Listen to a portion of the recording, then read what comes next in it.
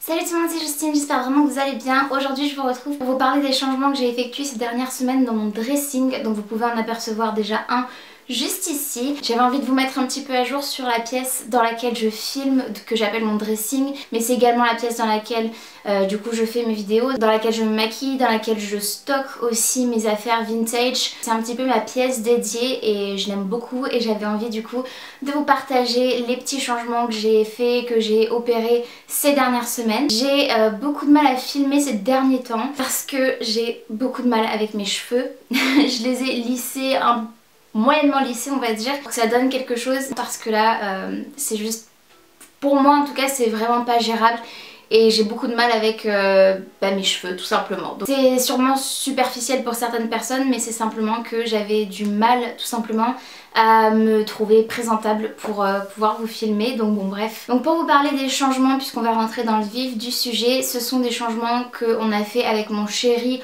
en mode euh, DIY pour deux d'entre eux et le troisième changement c'est en réalité du coup des meubles qui ont bougé donc c'est pas quelque chose que j'ai créé c'est juste quelque chose que j'ai modifié en termes euh, d'endroits euh, tout simplement pour redessiner un petit peu l'espace et en créer des petits vous allez voir à plusieurs endroits. Il y a plus d'un an j'avais acheté dans une ressourcerie deux rouleaux de papier peint de 10 mètres sur 52-53 cm de largeur donc c'est un lait je crois qu'on appelle ça si je dis pas de bêtises. Et j'ai utilisé du coup ce papier peint donc plus d'un an plus tard mais écoutez je savais que ça me servirait à quelque chose. J'avais déjà le projet qu'on a réalisé euh, en tête depuis bien longtemps avant de trouver ce papier peint. Les papiers peints en question ce sont ceux-là.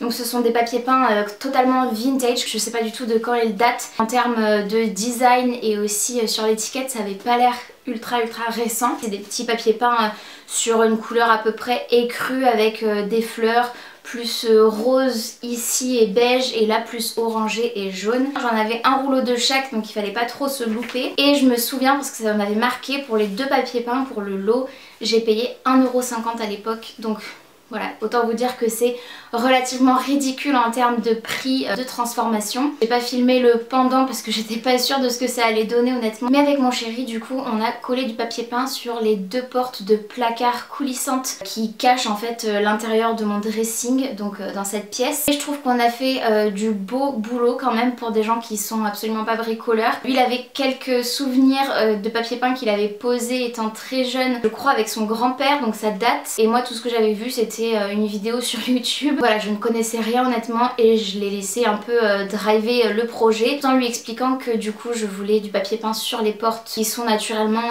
en bois stratifié ou je sais pas comment on appelle ça mais c'est du faux bois. Je montrerai des photos ou des images parce que j'en ai déjà eu ayant filmé devant. On s'est retrouvé un petit peu embêté parce qu'à la base je voulais qu'on mette ce papier peint et au final je n'en avais pas assez en mesurant les portes. On s'est rendu compte qu'il n'y aurait pas assez de papier peint pour faire les deux. J'ai pris la décision de faire une porte de chaque. J'ai été un petit peu sceptique pendant un moment parce que je pensais que les papiers peints allaient bien ensemble et finalement bof bof mais ça me plaît quand même, ça reste vintage. Celui qui me plaît le moins c'est le orangé parce que je voulais quelque chose plus de rose. Du coup il me reste des chutes de papier peint et avec une de ces chutes je me suis dit que j'allais faire, euh, notamment avec ce papier peint là, je me suis dit que j'allais faire euh, un cadre donc je vais tout simplement encadrer la chute de papier peint et la mettre quelque part euh, dans mon dressing pour que ça fasse un rappel. Donc à part le papier peint, je vous avoue que j'ai pas vraiment le prix mais je pense que ça tourne quand même autour d'une trentaine d'euros pour pouvoir acheter la colle et mon chéri avait déjà une brosse à maroufler et son père nous a prêté 2-3 euh, outils supplémentaires pour pouvoir faire la découpe, une règle, une planche etc.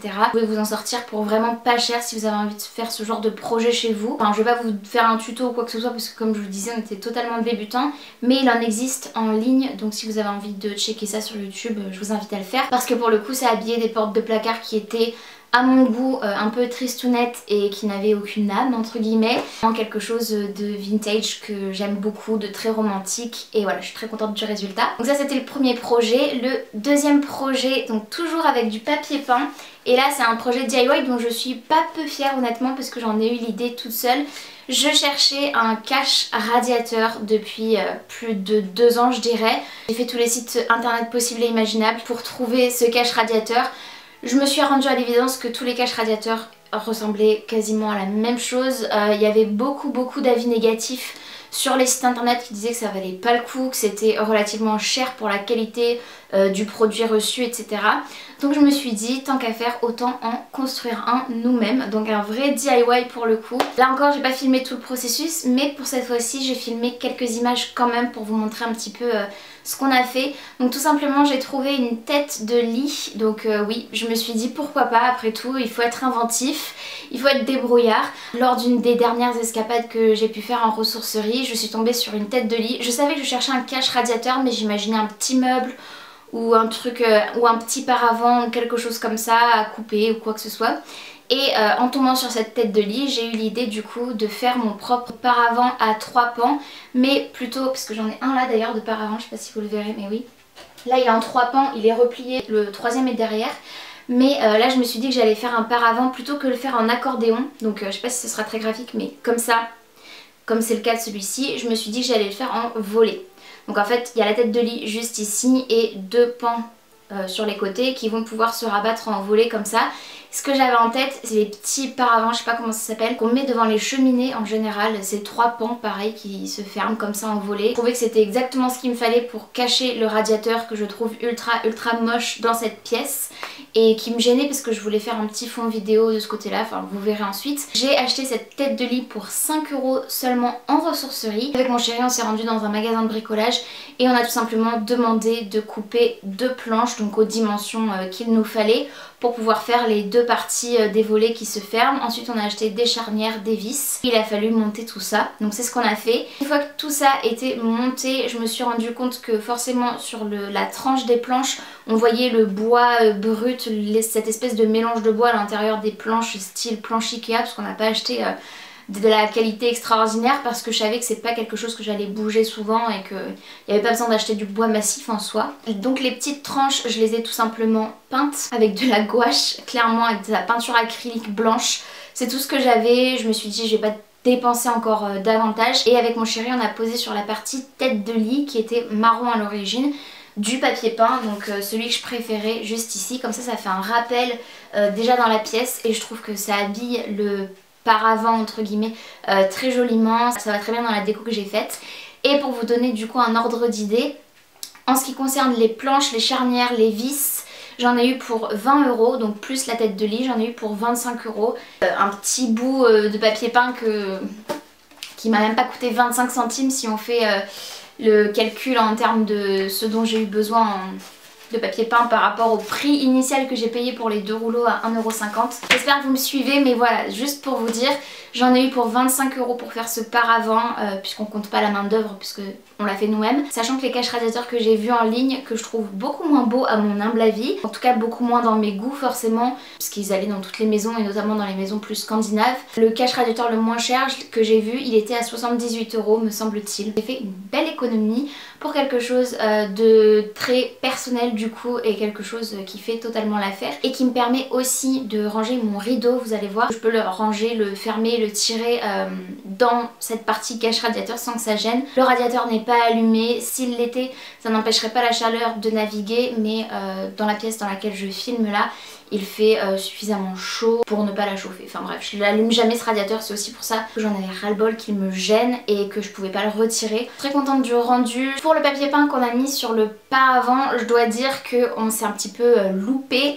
Euh, mais en réalité mon chéri me disait que le papier peint était vieux et qu'apparemment il ne boit pas la colle comme il le devrait ce qui a créé des zones en fait avec des rides, des ridules dans le papier peint ce qui n'est pas gravissime en soi parce que c'est quelque chose voilà, qui est pour moi. Donc ça me gêne pas, j'aurais préféré que ce soit parfait évidemment, mais voilà, c'est aussi un projet, comme je vous le disais, euh, DIY, donc euh, do it yourself. Donc c'est quelque chose qu'on a fait avec nos petites mains. C'est pas grave, euh, ça lui apporte même un peu de charme, ça lui donne un petit côté vieilli parce qu'en plus la tête de lit avait du bois un peu abîmé et ça j'ai pas retouché, j'ai laissé le bois comme il était, juste lavé évidemment. Mais voilà, ça donne du charme. Écoutez, c'est pas dramatique en soi. Je voulais juste vous le mentionner pour être totalement transparente avec vous. Et j'en viens du coup au troisième changement dans mon dressing. Donc comme je vous le disais, j'ai bougé des meubles pour créer des petits espaces dans l'espace. Notamment là où vous avez vu le cache radiateur, j'ai fait un petit coin boudoir, un peu euh, cocooning, un peu euh, petite table vintage avec euh, deux assises. Ça fait un petit fond de vidéo, ça fait un petit coin cocooning aussi que j'aime beaucoup près de ma vitrine, près de la fenêtre, c'est lumineux. Quand je ferme le rideau le soir, c'est sympa d'avoir le rideau derrière aussi. Enfin bref, j'aime beaucoup, donc voilà. Les gros meubles essentiellement n'ont pas bougé, en fait il y a juste un petit meuble à tiroir que j'ai mis dans l'entrée de mon dressing, donc de ce côté, tout simplement parce qu'il était euh, à côté de ma coiffeuse, mais vous le verrez maintenant, à côté de la coiffeuse, j'ai finalement mis un portant à manteau qui était à l'origine derrière moi. J'avais euh, ce paravent qui était juste ici dans la prolongation. Là je vais essayer de vous retrouver des images de vidéos que j'ai faites par le passé où on le voit. Et derrière ce paravent j'avais tout simplement un banc blanc que j'ai laissé là parce qu'il est quand même très pratique. C'est un banc coffre il est très pratique pour poser 2-3 trucs et pour ranger surtout à l'intérieur euh, notamment des sacs et quelques manteaux. J'ai changé euh, des petites choses comme le portant, le paravent, un pouf que j'ai derrière moi aussi que vous verrez et j'ai créé du coup cet espace très cocooning avec des fauteuils. Au sol, je n'ai pas encore de tapis mais j'aimerais beaucoup en avoir un vintage avec des fleurs, un truc dans des tons roses ou vert pâle. Parce que l'inspiration de cette pièce c'est toujours un petit peu très vintage mais avec les couleurs la durée. Ça marque un peu les esprits de dire ça parce que c'est du vert, euh, un peu vert d'eau, vert amande avec du rose pastel et j'adore le combo. C'est un peu ça que j'ai en tête. Mais voilà, pour l'instant c'est un plaid au sol et pas un tapis. Je peux en rassurer peut-être certains, certaines.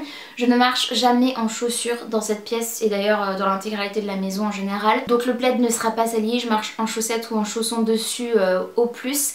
Et puis même si ça se salit au pire des cas ça se lave, même plus facilement qu'un tapis. Mais c'était juste pour créer voilà et délimiter euh, cette petite zone. Donc voilà tous les changements qui ont été opérés dans mon dressing. Il va y en avoir encore peut-être un ou deux par-ci par-là, notamment des petits crochets à poser sur le mur, peut-être euh, un cadre ou deux en plus à voir, je ne sais pas encore. Mais pour l'instant c'est déjà pas mal. N'hésitez pas à me dire ce que vous en pensez dans les commentaires et à liker la vidéo bien évidemment si elle vous a plu. N'hésitez pas à vous abonner aussi à ma chaîne si ce n'est pas encore fait ainsi qu'activer la cloche de notification pour être tenu au courant de tout ce que je poste. Sur ce, je vous fais de très très gros bisous, prenez bien soin de vous bien soin de vos proches et je vous dis à très très bientôt dans une prochaine vidéo.